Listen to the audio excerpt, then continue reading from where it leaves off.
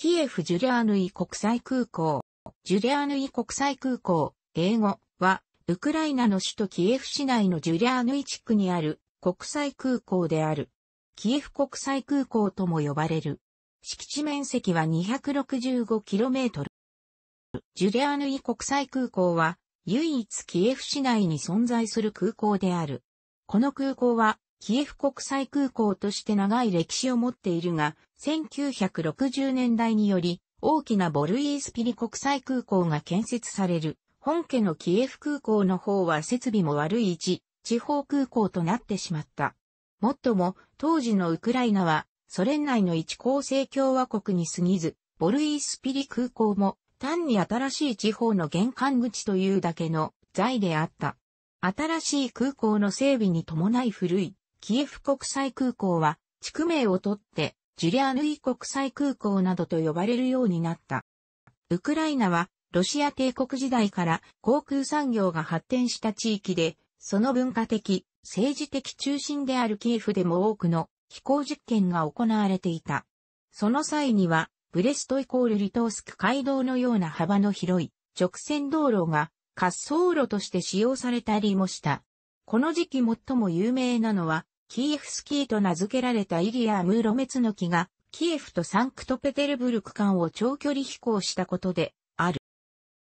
その後、キエフはロシア内戦の期間中に赤軍などによる破壊を受けたが、戦後次第に再生を遂げ、1923年には戦後最初と言われる空港がキエフに完成した。翌1924年には最初の定期便がキエフとハルキウ間を結んだ。だが、キエフ空港は軍用に転用されてしまった。その後の大祖国戦争においてキエフは再びドイツ軍の侵攻と破壊を受けた。一方、空港には1941年から1942年の間に新しいターミナルビルが建設された。この建物は現在でも基本は同じものが使用されている。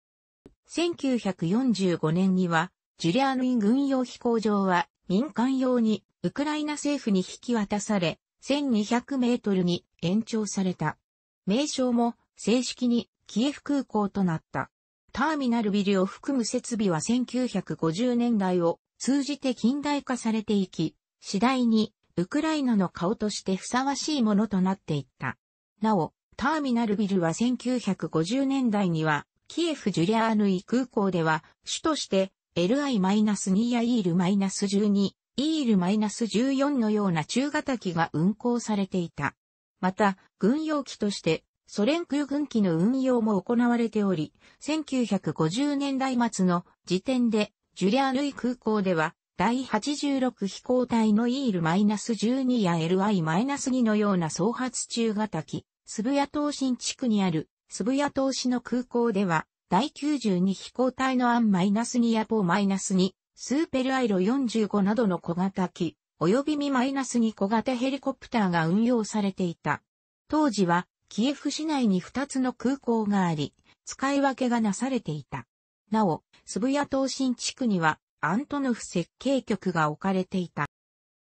1960年代になると、キエフの玄関口は、隣のボルイースピリ市に新設された、ボルイースピリ空港に移り、キエフ市内の空港は発展の道を閉ざされてしまった。スブヤ島市の空港は、地区の発展とともにその役目を終え、現在はアントノフ科学技術総合の機体が時折使用する程度となっている。地図にも名称すら載っていない場合が多い。ソ連時代、キエフ空港は国内線専用の空港として使用されていた。ウクライナの独立後、市内にあって利便性も良い、この空港にもいくつかの国際便が発着するようになった。それに伴い、名称もキエフ国際空港あるいはジュリアヌイ国際空港と呼ばれるようになった。ジュリアヌイ国際空港は、近隣を居住区画に囲まれているためこれ以上の拡張の余地を残しておらず、限定的な運行しかできなくなってしまっている。特に、運用できる機種は滑走路の長さの問題から、最大離陸重量などに制限を受けており、特別な許可証なしでは運行は許可されない。このため、モスクワ便を含むほとんどの航空便は、キエフからは、アクセスの極めて悪いボルイースピリ空港の方に発着せざるを得ない状況となっている。そうした中で2011年3月より、格安航空会社であるウィズエアウクライナが運航拠点及び現在発着するすべての路線をボルイースピリ空港から移転し、ジュリアヌイ国際空港へ新規就航することとなった。ジュリアヌイ国際空港に根拠地を置く航空会社は VIP 機やタクシー機を運航する航空事務センター、ウクライナ国内及び独立国家共同体間の航空便を運航するアエロスタール航空、チャーター便を運航しまた航空機の修理も行う、アープ410、アープ410、同じくチャーター便を運航するアエロチャールテルがある。廃止されたウクライナ防空軍の本部もジュリアーヌイ空港に置かれていた。現在もウクライナ空軍の基地が置かれており、防空軍時代から引き続き中型輸送機のアン -24、アン -26 や中型輸送ヘリコプターミ -8 の運航がなされている。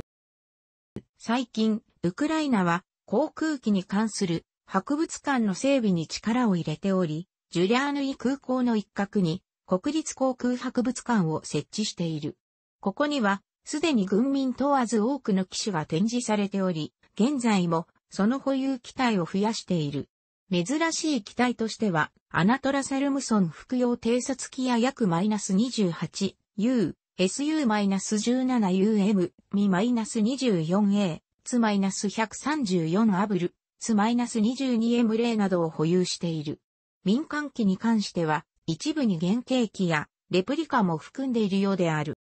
なお、日本のウェブサイト上の航空券予約ページでは、このジュリアヌイ空港とボルイスピリ空港に監視思想ラスを設けているのが普通である。その場合は、検索欄等に EF と打ち込んでも国際便の発着するボルイースピリ空港をきちんと検索することができる。